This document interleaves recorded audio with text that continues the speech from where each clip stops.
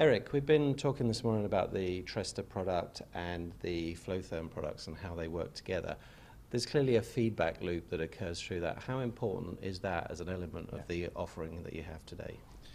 My background is simulation, and I heavily believe in the correlation between simulation and test. Uh, I think it's a necessity to verify simulation results by test results.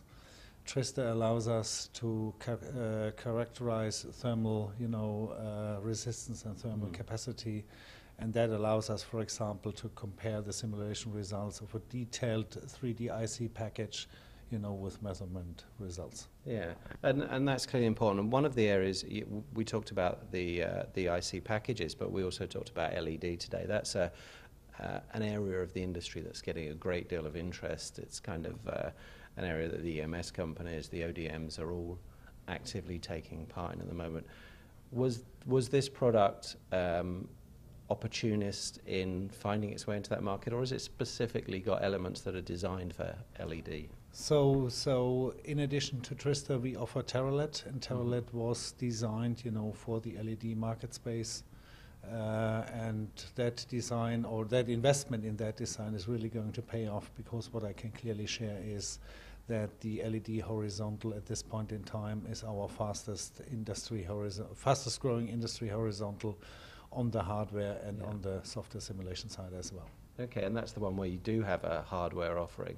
Um, that's is that something that Mentor's done in the past? Actually, provide hardware offering, or is that something that's quite unusual? Uh, that kind of offering, you know, yeah. uh, is or was new to Mentor. Yeah. Okay.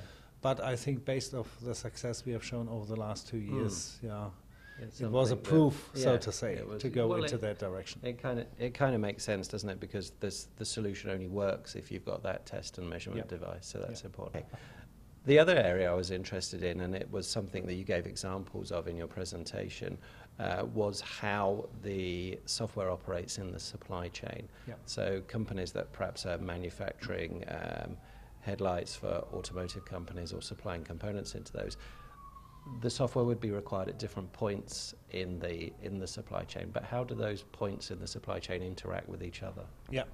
So uh, let me answer with with uh, to, uh, to your question with two answers. So when we, for example, develop our software and go for customer requests, yeah, we work closely together with the OEMs and the tier one and two, tier two suppliers as well.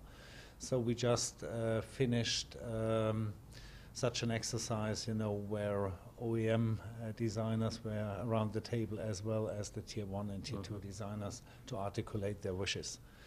And it's, so to say, a joint effort. Uh, the other thing is, yes, uh, if they want uh, to exchange models yeah, or result files, they can do that. Mm.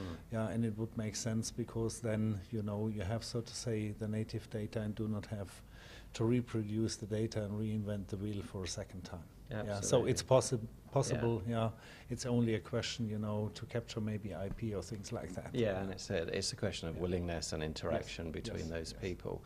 Um, last question: Where, in terms of the development of this product or this product group, whereabouts is it in terms of, of launch and beta testing, and what kind of feedback have you had from the market?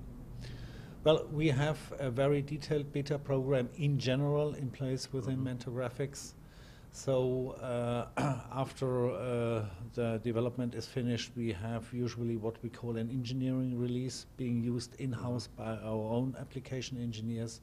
And then we go for detailed beta programs really to get customer feedback you know, not only to use uh, our solutions, you know, in what what I would call an ivory tower mm. environment, mm. really to, to, to, to make them use uh, our applications, you know, in a real environment. Yeah. Okay. And then after that, we go for what we call a production release. Okay. Yeah. Excellent. Well, Eric, all the best with that. Thank you very much for talking to me, and thank My you pleasure. for your time.